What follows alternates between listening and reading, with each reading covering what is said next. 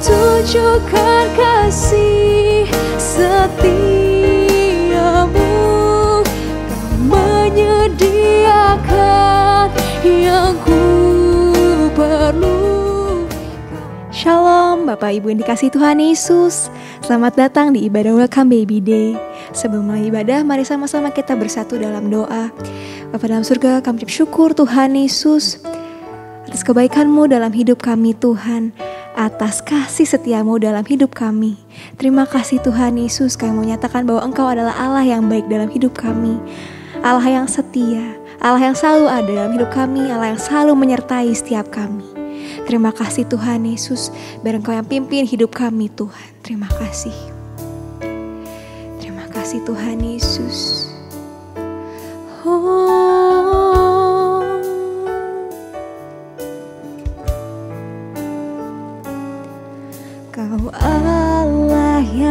yang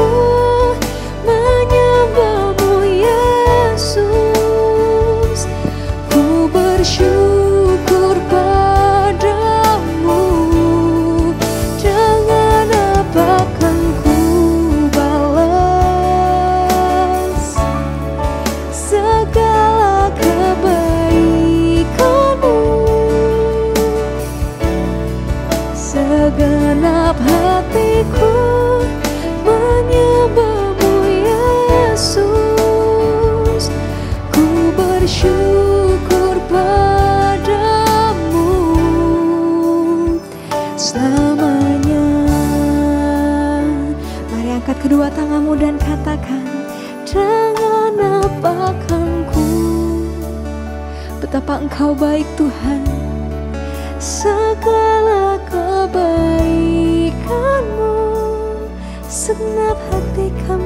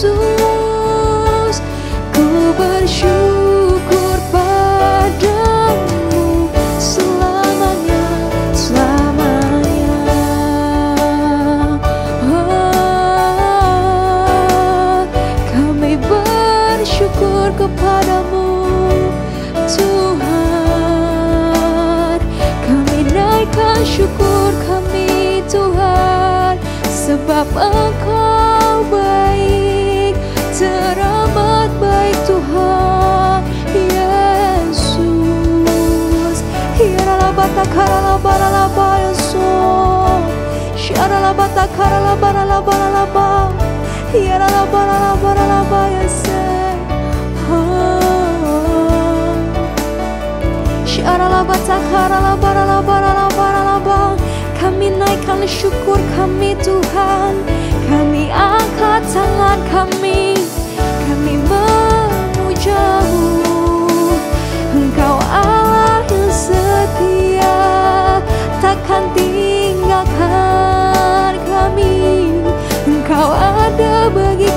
Tuhan Engkau ada Yesus. Hiralabatakaralambaralaba Yesus Syaralabaralabaralabaralaba Sungguh engkau setia Tuhan. Sungguh engkau mulia. Hiralabatakaralaba Isyaralabaralabaralaba Hiralaba kami bersyukur Tuhan. Memiliki Allah yang seperti engkau Tuhan Allah yang teramat setia dalam hidup kami. Terima kasih Yesus.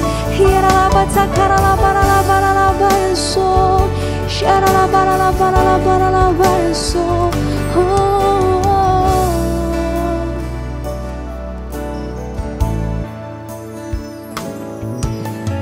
Tunjukkan kasih setiamu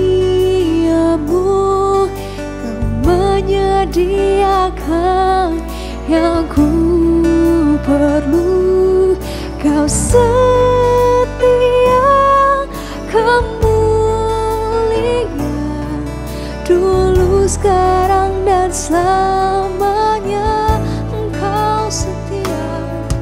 Kau tunjukkan kasih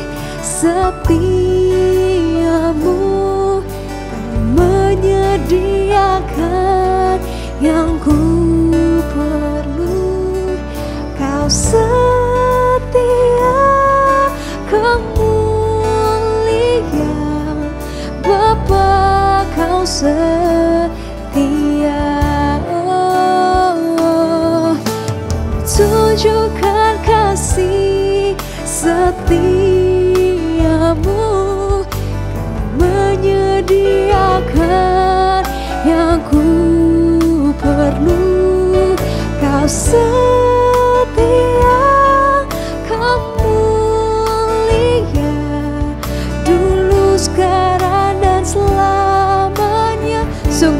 setia Tuhan Tunjukkan kasih. Setiamu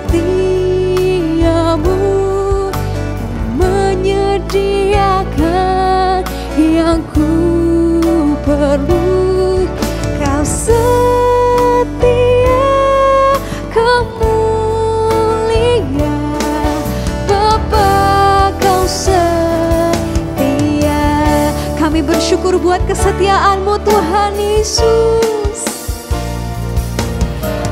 Tunjukkan kasih setiamu. Kau menyediakan yang ku perlu. Kau setia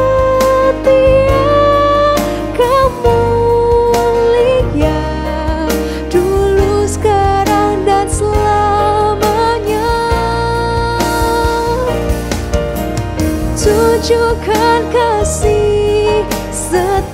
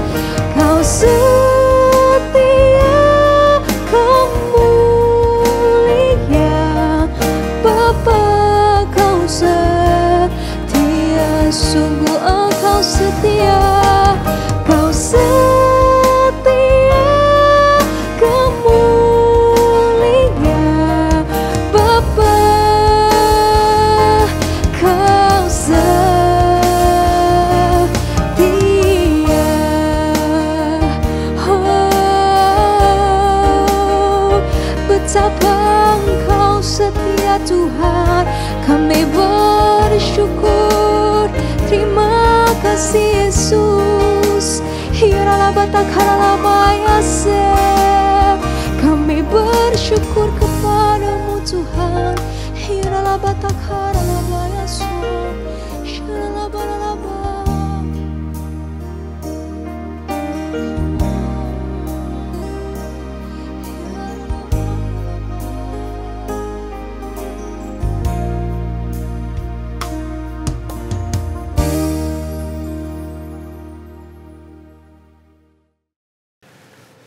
Shalom, jemaat Tuhan yang dikasihi Tuhan Yesus Kristus, khususnya kepada para suami dan istri, di mana pada ibadah Welcome Baby Day di CK7 pada hari ini, saya percaya kita semuanya ada di dalam pemeliharaan dan kasih setia Tuhan. Nah pada ibadah Welcome Baby Day saat ini saya akan menyampaikan sesuatu hal yang penting buat kita semuanya. Khususnya kepada para suami, para calon bapak yang akan mendapatkan kasih karunia Tuhan untuk mendapatkan anak atau buah cinta yang sebentar akan lahir dari rahim istri yang saudara kasihi. Nah, sering kali banyak pertanyaan masuk kepada saya, apa sih peran suami bagi istri yang sedang mengandung? Peran seorang suami ketika istrinya sedang menantikan kelahiran bagi buah cinta mereka berdua. Tentunya karena kita ada dalam sebuah lembaga gereja Maka yang pertama harus saya sampaikan adalah dasar firman Tuhan. Sebagai seorang suami, apa yang harus dilakukan menjelang kelahiran buah cinta yang dinantikan dengan penuh sukacita itu? Oleh sebab itu, hari ini saya akan sampaikan satu pesan firman Tuhan bahwa anak itu adalah warisan Tuhan. Anak itu adalah milik pusaka Tuhan. Bayi yang ada di rahim istri saudara itu adalah benih dari seorang laki-laki yang diizinkan Tuhan untuk berkembang. Berkembang menjadi seorang bayi yang akan lahir. Nah, itu disebut sebagai milik pusaka Tuhan. Nah, apa peran orang tua bagi kelahiran milik pusaka Tuhan itu? Itulah sebabnya saya akan sampaikan bagaimana anak panah di tangan pahlawan. Anak-anak yang akan dilahirkan adalah seperti anak panah. Seperti buah anak panah di tangan pahlawan. Artinya tangan pahlawan itu pahlawan adalah suami dan istri yang akan melesatkan anak panah itu, yang akan membawa anak panah itu menuju kepada destiny seperti yang Tuhan kehendaki. Oleh sebab itu, dalam hal pertemuan hari ini saya akan sampaikan apa peran suami untuk melesatkan anak panah, untuk melesatkan milik pusaka Tuhan itu, supaya sampai kepada tujuan seperti yang Tuhan kehendaki. Nah, ada dasar firman Tuhan yang harus kita perhatikan baik-baik. Seperti yang terdapat di dalam Mazmur 127. Mazmur 127 ayatnya yang ketiga dan yang keempat. Demikian firman Tuhan. Saya bacakan Mazmur 127 ayat 3 dan 4. Sesungguhnya anak-anak lelaki adalah milik pusaka daripada Tuhan. Jadi kalau ada kata anak-anak lelaki bukan berarti oh ini hanya untuk yang berjenis kelamin laki-laki, bukan. Ya. Tetapi ini menunjuk kepada anak panah tadi. Adalah milik pusaka Tuhan. Dan buah kandungan adalah suatu upah. Seperti anak panah di tangan pahlawan Demikianlah anak-anak pada masa muda. Nah, Mazmur 127 ini menjelaskan kepada kita semuanya, khususnya kepada calon orang tua yang akan mendapatkan anak atau melahirkan buah cinta atau melahirkan milik pusaka Tuhan. Bahwa apa yang ada di kandungan istri, apa yang ada di kandungan seorang ibu itu adalah kepercayaan Tuhan. Itu adalah kepercayaan Tuhan. Disebut sebagai upah dari Tuhan. Yaitu milik pusakanya. Milik pusaka Tuhan. Tentunya milik pusaka itu nggak bisa sembarangan. Nggak bisa disepelekan. Ya, nggak bisa dianggap enteng.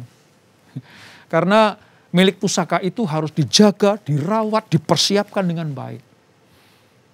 Itulah disebut sebagai kepercayaan Tuhan kepada saudara yang akan memiliki anak atau buah cinta kalian berdua. Nah, milik pusaka Tuhan itu disebut sebagai seperti anak panah. Anak panah di mana dipercayakan kepada orang tua disebut sebagai di tangan pahlawan. Jadi orang tua itu adalah pahlawan bagi anak-anaknya. Bagi janin yang akan lahir nanti menjadi bayi, kanak-kanak, ya, menjadi anak-anak, menjadi dewasa. Nah, demikianlah maka peran orang tua harus mempersiapkan sejak dari dinyatakan positif hamil sampai kelahiran, orang tua harus memperhatikan dan betul-betul serius mempersiapkan kelahiran buah cinta disebut sebagai anak panah ini. khusus pada hari ini, khusus pada pertemuan ini, saya akan membahas bagaimana peran suami untuk mempersiapkan anak panahnya akan lahir itu. Nah mari kita lihat. Semua anak harus dipandang sebagai karunia Allah yang menuntut tanggung jawab yang bijaksana dari orang tua. Benih yang ada di kandungan istri saudara, benih yang ada di kandungan calon ibu ini, itu harus dipandang sebagai karunia Allah. Karena sehebat apa pun manusia berusaha, kalau Tuhan tidak menentukan tidak akan terjadi. Ya kan?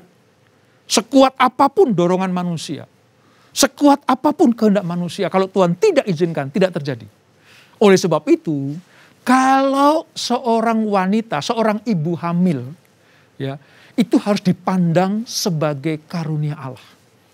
Dan tugas orang tua adalah bertanggung jawab. Bertanggung jawab atas karunia Allah ini. Sehingga dipersiapkan dengan bijaksana.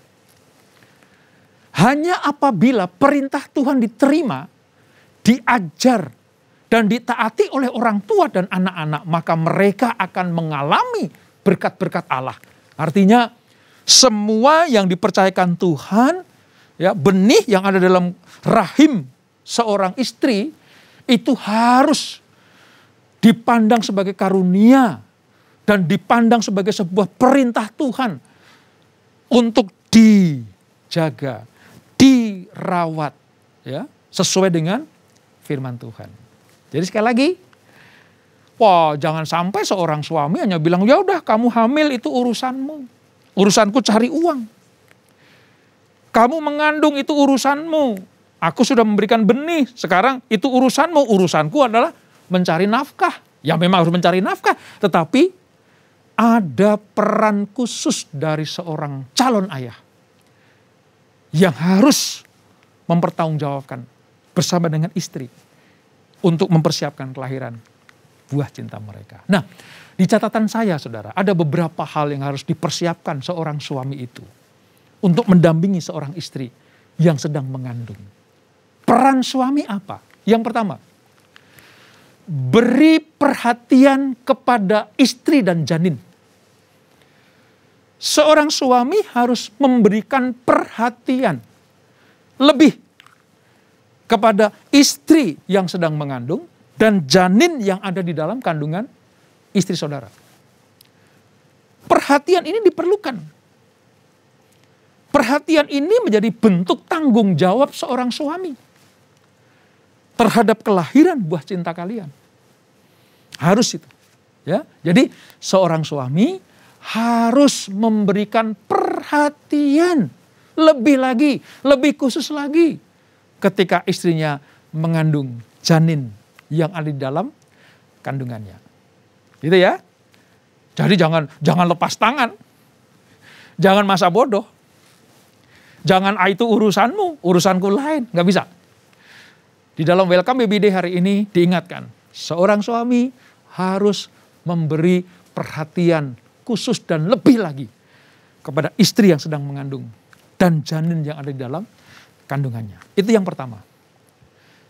Tugas seorang suami berikutnya ketika istri mengandung, apa itu?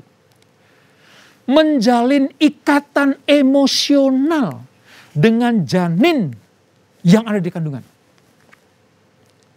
Saudara mungkin bertanya, Pak apa hubungannya? Kan secara fisik terpisah antara suami dan janin yang ada di dalam kandungan istri saudara.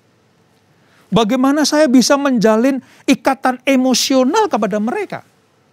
Kepada janin itu. Kepada calon bayi itu. Saya mau katakan begini. Secara rohani. ya, Secara rohani. Ikatan emosional seorang ayah terhadap janin yang ada di dalam kandungan istri saudara. Itu bisa terjadi. Kalau seorang ibu kepada janin jelas ya, karena satu tubuh itu.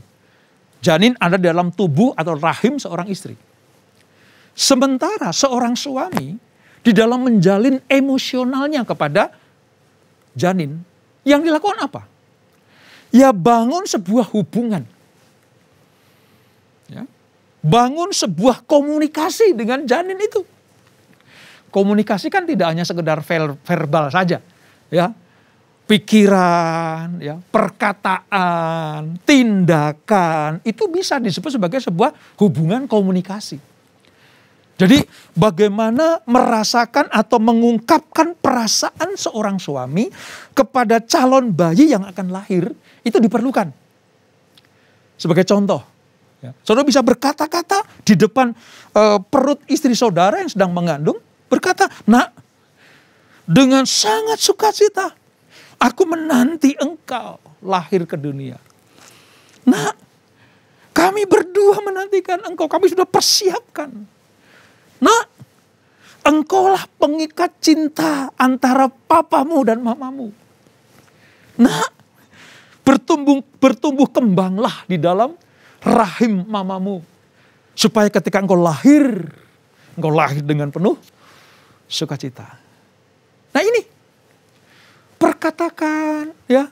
Mungkin dielus-elus itu perut istri saudara. Sambil berkata secara profetik Tuhan menjagai engkau. Tuhan melindungi engkau. Tuhan memberikan pertumbuhan yang sempurna kepada engkau. Nah ini jalinan antara emosional seorang ayah kepada anak yang akan lahir ini diperlukan. Saya yakin dan percaya kalau setiap pagi, setiap hari saudara lakukan hal itu. Tuhan sedang mempersiapkan sebuah kelahiran yang luar biasa bagi anak saudara. Jadi yang kedua, jalinlah ikatan emosional dengan janin sejak dari kandungan istri saudara. Yang ketiga, peran seorang suami kepada istri yang sedang mengandung adalah membantu menjaga kesehatan istri. Ini penting. Kesehatan seorang ibu terhadap janin itu jelas penting. Tetapi peran suami juga harus ada. Kesehatan dalam hari ini apa ya? Ketika seorang istri dalam keadaan mengandung, apalagi udah mengandung besar ya. Ya, saudara menolong, membantu ya. Ini seorang suami membantu untuk apa? Supaya kondisi sang ibu dan sang janin tetap sehat. Dijaga. Dengan vitamin-vitamin yang dianjurkan oleh dokter kandungan. Dengan makanan-makanan yang sehat. Dengan situasi rumah tangga yang, uh, suasana rumah yang sehat sirkulasi udara yang tepat, rumah yang tidak lembab, ya. Ini penting. Biasanya kan kalau suami atau istri menantikan kelahiran seorang is, uh, anak kan mempersiapkan kamar yang terbaik gitu ya. Ditata dengan rapi, ya, dipersiapkan. Nah, ini namanya membantu menjaga kesehatan istri. Suami jangan masa bodoh. Suami jangan cuek Suami jangan lepas tangan terhadap persiapan persalinan atau kelahiran bayi yang saudara nantikan itu. Jadi yang ketiga, ayo para suami, bantulah istri saudara supaya tetap menjaga kesehatan. Asupan-asupan gizi yang terbaik. Makanan-makanan yang bermutu. Supaya ibunya sehat, bayinya atau janinnya juga sehat dan kuat. Yang keempat, Seorang suami ketika istrinya sedang hamil, ada langkah yang harus diperhatikan dan tidak kalah penting. Apa itu? Memanjakan istri dalam rangka baby moon. Nah, ini penting nih. Ya, memanjakan istri dalam rangka baby moon. Artinya persiapan untuk kelahiran. Dengan cara apa? Dengan cara layani dia dimanjakan. Ya. Karena saya saya perhatikan ya kalau seorang istri sedang mengandung itu, wah bebannya luar biasa loh. Bukan hanya membawa kandungan ke mana-mana. Tapi mungkin ada keletihan, ya, secara emosional juga capek, ya. secara tubuh juga merasa lelah, ya, tidur miring ke kanan susah, miring ke kiri sakit, ya, telentang terus juga lelah, ya. Jadi Ini saatnya di mana peran suami itu memanjakan istri. Dalam arti apa? Memanjakan itu layani. Mama mau apa? Kamu mau apa sayang? Ya. Misalnya, misalnya nih, misalnya nih, di dapur misalnya, pembantu nggak ada, ya, nggak ada pembantu yang bisa membersihkan dapur, ya suami, suami, ya, bantu. Supaya apa? Masa-masa menjelang kelahiran itu suasana, hati, pikiran, jiwa seorang istri itu terlayani. Terlayani. Jadi manjakan dia. ya, manjakan dia. Biasanya kalau dia nyidam kan ya, nyidam. Nyidam itu suatu permintaan yang kadang tidak biasa dari istri ketika dalam mengandung. Minta sesuatu yang tidak per, e, biasa tidak seperti biasanya. Malam-malam misalnya, aku pengen rujak. Nah lo. Kalau tiba-tiba isi saudara malam-malam, Pak, aku pengen makan rujak. Ya itu memang tidak lumrah, tidak biasa. Tapi itu seperti sebuah kemanjaan yang harus dilayani oleh seorang suami. Ya kalau cari rujak malam-malam ya memang agak sulit ya saudara. Tetapi ya itu bentuk pelayanan seorang suami kepada istri yang tiba-tiba ngidam sini, ngidam situ gitu ya. Wah, harus dilayani. Ya, jangan masa bodoh, jangan lepas tangan ya. Ayo manjakan istrimu, layani dia ya. Masa-masa baby moon ini ya, layani dia dengan segenap hatimu. Saya kan percaya beban melahirkan anak. Beban melahirkan buah cinta saudara tidak hanya dipikul di pundak istri. Tapi itu harus dipikul bersama-sama. Seperti anak panah tadi. Busur panah itu kayunya atau bambunya atau besinya melambangkan suami. Talinya ya itu melambangkan istri. Suami dan istri, busur dan tali bersatu untuk melesatkan anak panah. Jadi ketika menjelang kelahiran, suami perannya salah satu adalah memanjakan istri. Yang berikutnya yang kelima, apa peran suami? Yang kelima adalah menolong istri saat mengatasi keluhan-keluhan. Menolong. Misalnya, misalnya, misalnya. Pernah suatu kali istri saya itu waktu mengandung anak kami yang kedua, ya, dia merasa bahwa aduh, pinggangku sakit gitu. Nah, itu malam-malam saya bangun. Mana yang sakit ini, pijitin, pijitin. Ya saya pijitin. Ini menolong istri saat mengalami atau mengatasi keluhan-keluhan. Aduh panas gitu, oh, udara panas padahal juga mungkin mungkin nggak mungkin ada AC atau ada apa, tapi kadang minta dikipasin, minta dikipasin, ya, ya ini ya Seorang suami menolong istri mengatasi masalah itu. Ya kan? Aduh berat, apalagi kalau udah hamil tua ya. Aduh berat jalan, dituntun. Dipapah. Supaya apa? Supaya beban yang ada di pundak istri itu juga suami harus menanggungnya. Ingat ya, anak pada di tangan pahlawan tadi. Jadi mari para suami di tempat ini melihat istrimu sedang uh, mengalami kesulitan, keluhan dalam masa hamil ini, saudara harus menolong. Saudara harus ada di sampingnya. Kan selalu ada kata-kata gini, seorang suami harus siaga. Siaga itu siap antar jaga. Nah, siap antar jaga ini harus betul-betul dipraktekkan di dalam kehidupan rumah tangga, khususnya kepada istri yang sedang mengandung. Dan suami harus siaga, siap antar jaga. Yang terakhir, secara garis besar, apa peran seorang suami ketika istri mengandung? Mendampingi istri dalam situasi pra kelahiran. Mendampingi istri dalam situasi pra kelahiran. Menjarang hari H, kan diprediksi, bisa diprediksikan. Oh ini hari Kamis, oh ini hari Rabu akan lahir, oh ini hari Jumat akan lahir. Ya. Apalagi kalau di sesar kan bisa presisi sekali waktunya itu.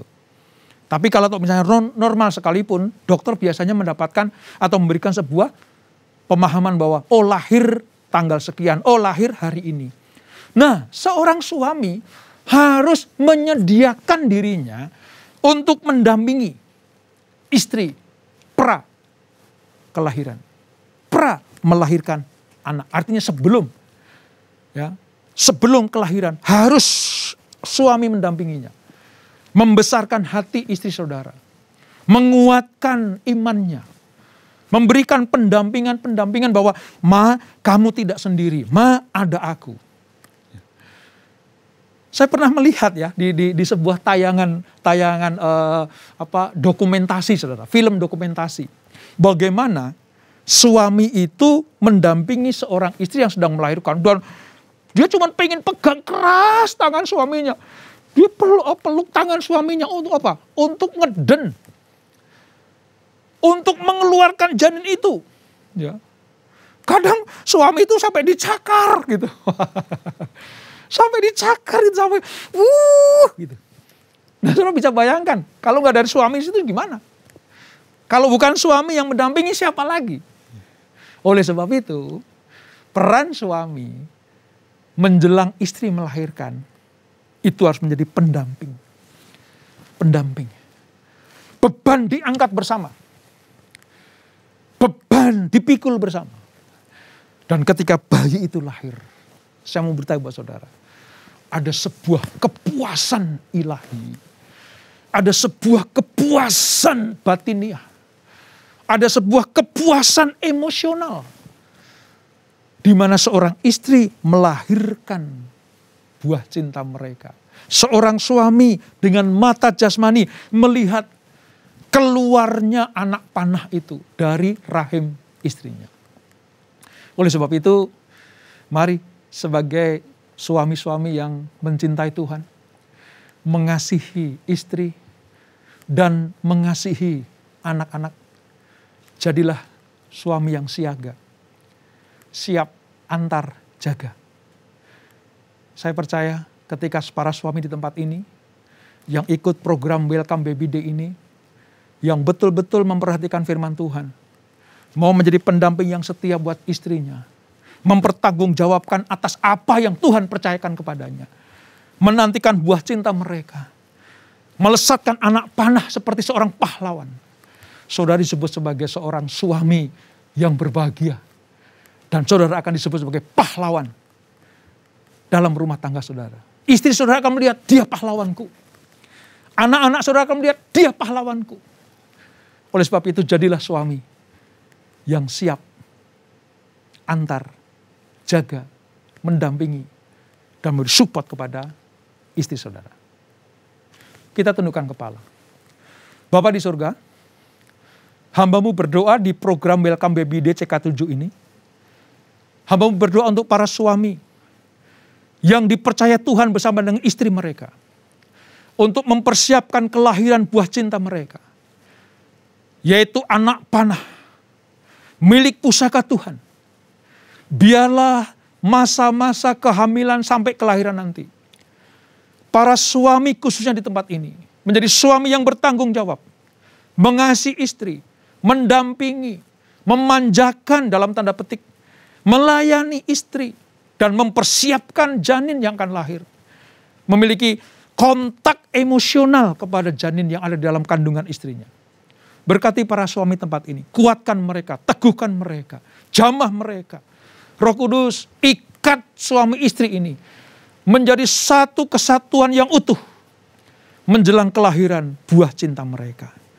Terima kasih Bapak, terima kasih Tuhan. Berkati masa-masa mengandung istri mereka. Berkati masa-masa kelahirannya. Berkati apa yang mereka perlukan. Apa yang mereka butuhkan. Semuanya dicukupkan Tuhan.